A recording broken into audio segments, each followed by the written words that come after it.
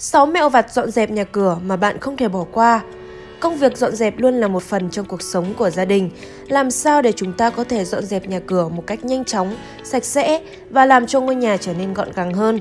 LK sẽ giúp bạn xử lý những phần khó dọn dẹp của căn nhà chỉ với những mẹo vặt sau đây.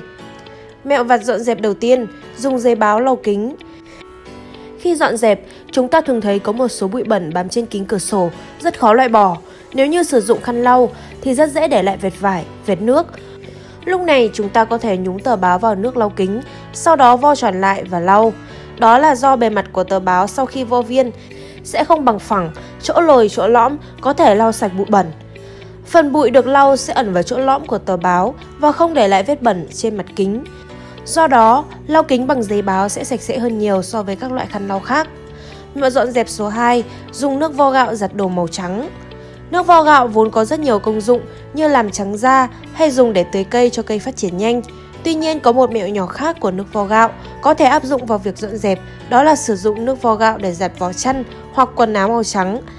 Thay nước máy thành nước vo gạo khi giặt quần áo không chỉ có tác dụng tẩy sạch chất bẩn mà còn có tác dụng tẩy trắng, giúp cho quần áo và chăn bông như mới. Mẹo dọn dẹp số 3, dùng kem đánh răng để tẩy cặn trà. Sau một thời gian dài sử dụng ấm chén, bạn sẽ thấy trên các thành bên trong của nó có một lớp cặn trà dày, màu đen, rất xấu và không thể lau sạch được.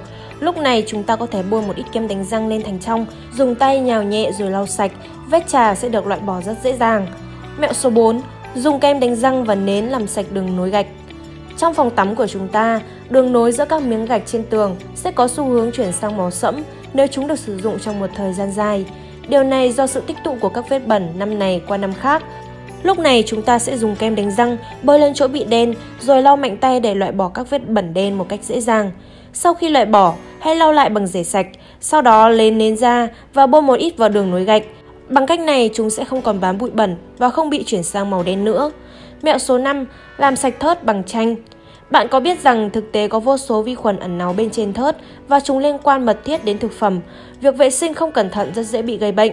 Vì thế khi dọn dẹp, chúng ta nên cắt đôi quả chanh, sau đó rắc một ít muối lên mặt thớt. Nhúng chanh vào muối rồi lau sạch mặt thớt hơn một chút. Chanh vừa là chất khử khuẩn, vừa giúp khử mùi thức ăn bám trên thớt. Mẹo số 6, loại bỏ đá bám trong tủ lạnh. Sau một thời gian dài sử dụng, lớp đá dày sẽ tích tụ trên ống làm lạnh, được hình thành do sự ngưng tụ của hơi nước ở trong tủ lạnh. Có một mẹo dọn dẹp là sử dụng máy sấy tóc để loại bỏ lớp đá này, bật quạt gió ở mức tối đa và thổi vào ống làm lạnh ở trong một khoảng thời gian. Không khí lưu thông ở trong ống làm lạnh và đá sẽ nhanh chóng tan ra. Cần lưu ý là không sử dụng khí nóng, không khí nóng tác động quá mạnh vào ống làm lạnh có thể gây hư hỏng. Bên trên là một số mẹo vặt giúp các bạn vệ sinh nhà cửa trong dịp Tết và giúp cho ngôi nhà của chúng mình sẽ sạch sẽ gọn gàng hơn. Nếu có thời gian thì hãy thử nhé, sẽ khá hiệu quả cho việc dọn dẹp nhà cửa của bạn. Cảm ơn các bạn đã theo dõi hết video, follow kênh để biết thêm nhiều kiến thức hay.